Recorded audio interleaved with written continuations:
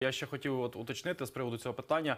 Е, Ви сказали слушно про окопи, те, що е, росіяни в принципі навіть лінії оборони вже формують е, укріплені. Е, Так, от е, у нас в ефірі був. е, І в ефірі інших каналів українських був е, азербайджанський експерт е, військовий е, Агіль Рустамзаде. І от він сказав, що в принципі передача Україні От е, дронів Камікадзе, ті, які вже е, в американському уряді в Сполучених Штатах Америки схвалили передачу Україні, то саме ці дрони Камікадзе вони можуть.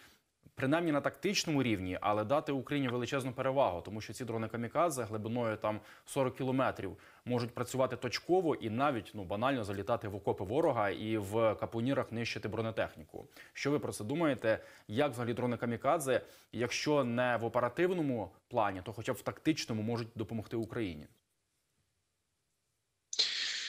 Е, Дрони на сьогоднішній день, як е, це відомо, е, скажімо так, практично вирішили, е, хто переможе в азербайджансько-вірменському конфлікті в Нагорному Карабасі.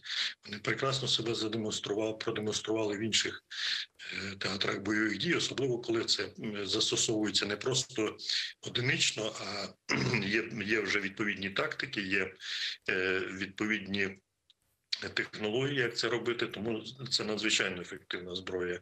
І ті дрони, які зараз передають, ну вони дійсно тактичного такого рівня.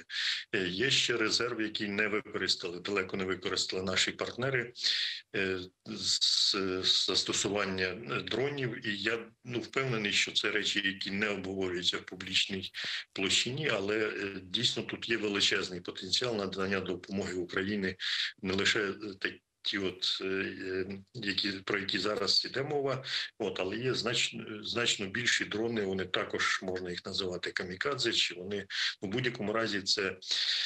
е, Апарат, який не має, якому не присутній пілот, тому є мінімальні ризики для того, щоб їх передавати Україні. Вони можуть керуватися з, з великих відстаней. Тобто, це дійсно потенціал, і це те, що можна е, ну дуже досить досить швидко в разі політичного рішення передати і застосувати на Донбасі.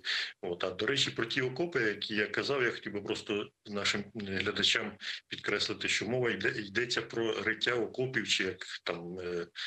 Е, Місцеве начальство каже, земляні роботи вже на території самої Росії. Тобто Росія починає потихеньку вже чи вірніше досить добре е, розуміти, що ця війна, е, особливо Білогородська область, що вона вже прийшла в їх дім разом з загиблими солдатами, разом з покаліченими, разом з тими прильотами.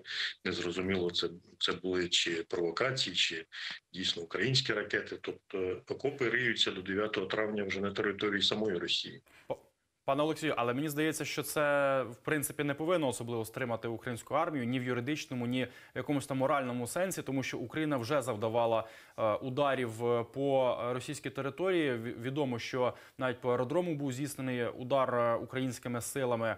Але зрозуміло, що це точкові цілі по військових об'єктах, і це зовсім інше ніж коїть Росія. Ми цивільних е, не чіпаємо російських винятково по військових цілях б'ємо. І е, те, що заявляв в нашому ефірі, в нашому каналі пан Горбулін, е, перший в історії незалежної України секретар РНБО, що потрібно дійсно потрібно робити превентивні удари по території Росії по тих об'єктах, які нам потенційно загрожують. Мені здається, що тут якби моральної якоїсь морального стримування не повинно бути для українських військових, і по е, навіть по території Росії по цих е, об'єктах можна бити от, точково саме таку такими дронами камікадзе, зокрема.